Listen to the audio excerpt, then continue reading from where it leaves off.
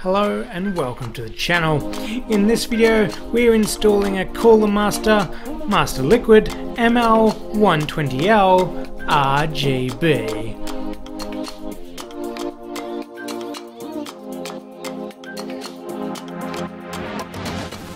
Okay, so I want to start off with saying that I've already pulled out the graphics card and I'm doing this in another video but I'm changing the graphics card and the CPU at the same time but let's just focus on the Cooler Master ML120L for this video.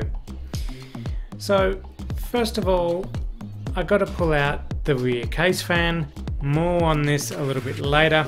And then we have to pull off the factory heatsink and fan. And then I'm gonna mount these little brackets to the motherboard so that the water cooling has something to mount to on the motherboard. And while you're doing this, remember when you're tightening the screws, they don't need to be too tight just tight enough. And because we've just taken off the CPU heatsink and fan, we need to clean off all the old thermal compound. For this I'm using isopropyl alcohol. Now the first step is to attach the Cooler Master fan to the front of the radiator and there is also an optional way that you can do this and you can add another fan to the back. And so that case fan I pulled off before, I'm actually going to put that on the back. So we've got two fans pulling air through. I actually don't know how this is going to work because this case fan isn't going to go as fast as the front one, but let's just see how it goes. Now depending on the CPU you have, there's a lot of different ways to mount this. For me, I have an AM4 socket, so this is the way I need to mount mine. Comes with a lot of different brackets for other sockets, but I need these ones. After you get your mounts on, you'll want to put some thermal compound on your CPU and then mount the ML120L to the CPU. After I mount the cooler on the CPU, I then attach the pump fan to the pump header on my motherboard because I'm lucky enough to have one, and then time to mount it all to the case. And then attach the Cooler Master fan to the CPU fan header on the motherboard. And don't forget, this is an RGB model. So I connect the RGB fans to the RGB header on my motherboard, again because I'm lucky enough to have one. If you're not lucky enough to have one, then it does come with an RGB controller that you can hook up as well. Now it's just a matter of getting the graphics card in, and then we'll start this baby up and see how she purrs. I'm not going to put the glass panel or anything on yet because we just have to test it out.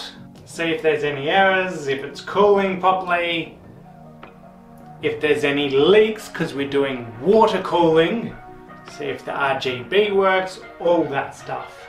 So let's trial it out.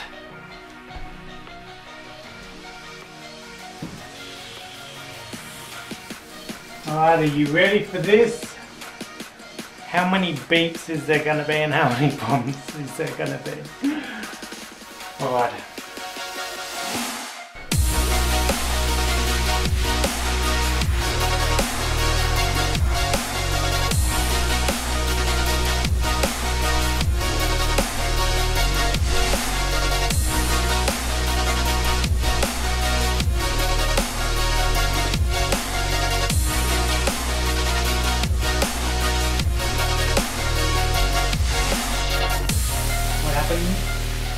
Things just turned off.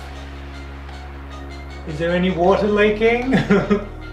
There's no beeps so far. New CPU installed. F1.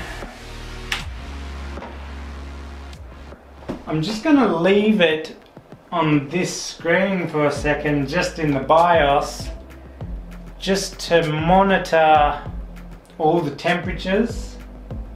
Looks like there's no water leaking still, which is good. So I think we're okay on the water front. CPU seems to be sitting at just 31 degrees Celsius.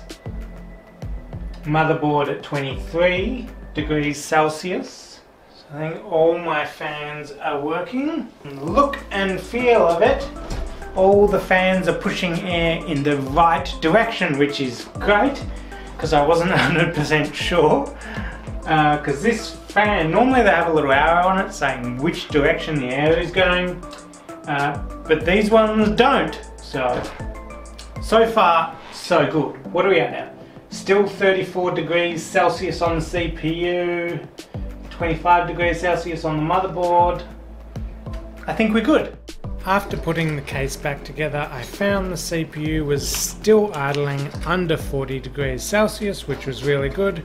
And during gaming, it barely ever gets above 50 degrees Celsius on the CPU, which again is really, really good. Even pretty high intensive games, still only really looking at 52 degrees or so, and I haven't really seen it exceed about 55 degrees Celsius. So really, really happy with the result.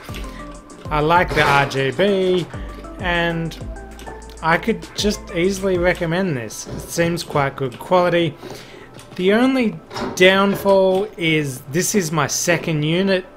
The first one was leaking a little bit of water, but that was shown in the packaging when I first got it. Other than that, this second unit that I had has been really good. So just make sure if you buy one of these, when you pull it out of the packet, if you see any green liquid at all, send it back, and then get a new one. Anyway, thank you for watching this video everybody. Hit that like button if you liked it, subscribe for more videos, and stay cool my friends. Stay cool.